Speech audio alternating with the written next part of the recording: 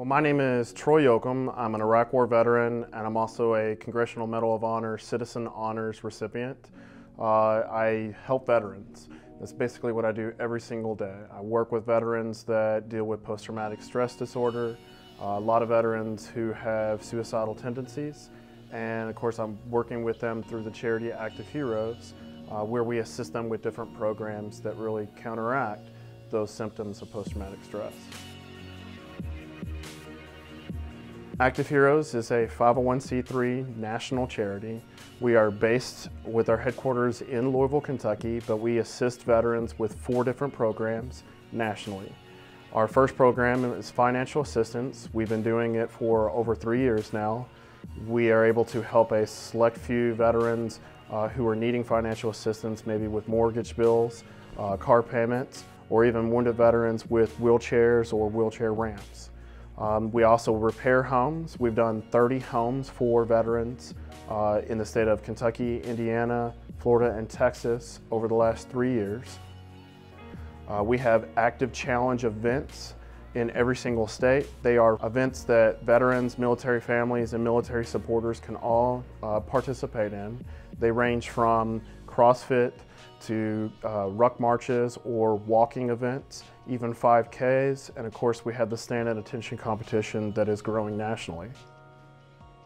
Through those events, we also offer suicide prevention training to team leaders. They are flown into Louisville, receive that training, and then go back out to uh, their state and start working their community to assist veterans. When a veteran is suicidal, they're immediately surrounded by a dozen other veterans that have gone through similar instances and work with them. And of course, the retreat is our fourth program.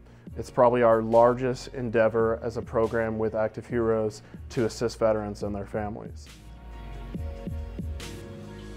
You know, USA Today recently did a story on veteran suicides. Uh, and that also was taking a look at overall suicides for all Americans. 330 million plus of us in this country. There are 40,000 suicides across America.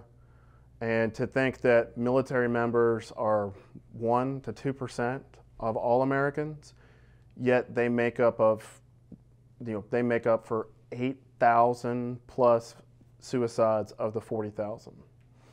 That's amazing. I, it's it's a tragedy when you really think about it you know, there has to be something done to definitely help these veterans reintegrate and let them know that there's so many people out there that want to support them and will support them.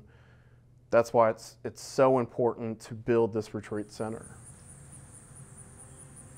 The Active Heroes Retreat Center is 144 acres.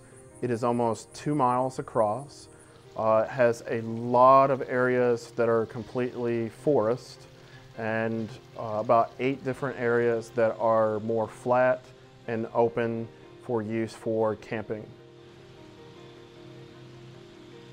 It was in rough condition when we first purchased the land back in November 11, 2013.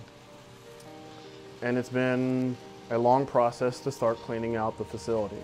It was vacant for 10 years. In a sense, it was an overgrown jungle. We've had to build and develop the ATV trails coming in to start bringing in gear and cleaning up the areas. We've had uh, a lot of different companies bring in machinery to help support it. We surveyed over 300 military families and we asked them what did they want in the retreat as opposed to our board of directors saying, well, we know exactly what will help military families. It was very important to get the feedback from the veterans and their, their spouses, their children, because we want to make sure that the activities that are put into the retreat are ones that they're going to be participating in. It's an amazing healing place for veterans and their families. It has this amazing ability to take stress away. The long-range plans for the Active Heroes Retreat Center are to get our roads built, our parking lot and lake within the next year to two.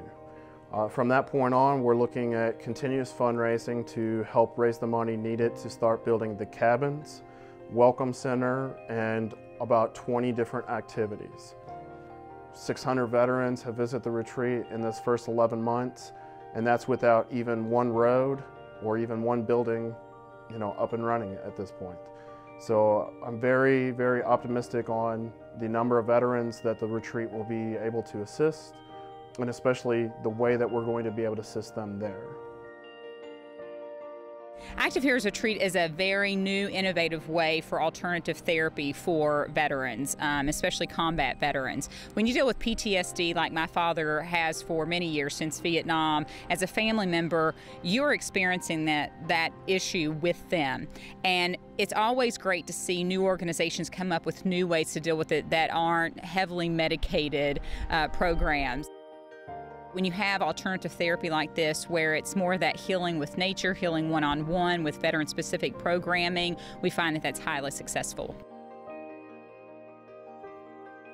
The most rewarding thing about Active Heroes is just being able to work every single day with veterans. Uh, you know, being a veteran myself, I find that it's, it's great to be able to, you know, just talk about normal life with these veterans.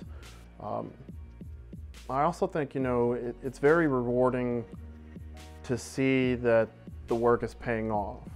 You know, to see the smiles on the faces of the kids and the wife while we're building a home for them. Or, you know, the sometimes a, a letter from a wounded veteran that we got them a wheelchair. Those are little things that make me smile and, and make me realize that this job is worth it.